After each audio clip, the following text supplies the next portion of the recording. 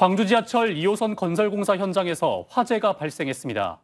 덮개 절단 과정에서 불꽃이 옮겨붙어 유독가스가 분출되고 일대 도로가 통제되는 등 출근길 시민들이 불편을 겪었습니다. 조경원 기자의 보도입니다. 희뿌연 연기가 순식간에 도로를 가득 메웁니다. 검은 유독가스가 퍼지면서 한치 앞을 분간하기도 어렵습니다.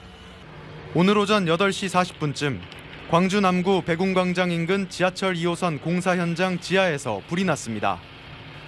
연기가 팍 올라오더라고. 근데 접근 금지하니까 이제 자 뒤로 이제 수- 나갔죠. 이제.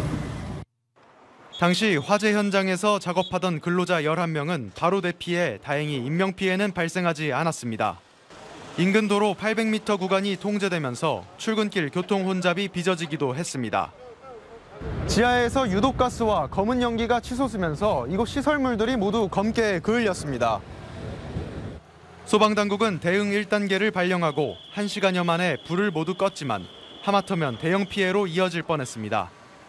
저희 관할 아, 펌프차와 인력으로는 아, 좀 힘이 들 것 같아서 대응 단계를 발령하고 어, 타사 지원을 요청하여 인명 검- 검색과 함께 어, 화재 진압에 임하였습니다.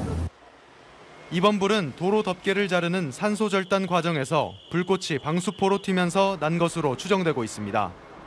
이 아스팔트성 방수 시트거든요. 그- 그게 보면 석유계 화학물질이에요. 그러니까 유독가스가 많이 나옵니다. 불이 나면.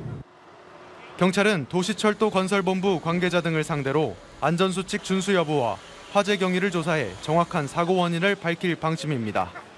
KBC 조경원입니다.